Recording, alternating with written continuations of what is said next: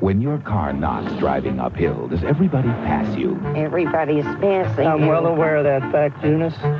Oh, it's only a comment, Walter. And I took note of the comment, Eunice. Try Texaco's higher octane that gave powerful turbos even more power against regular unleaded Texaco Super Unleaded boosted acceleration almost 12%. Isn't that Werner Lutz? We went to high school together. By golly, you're right. I thought Werner was dead. Texaco Super Unleaded, Super Star power for more car power.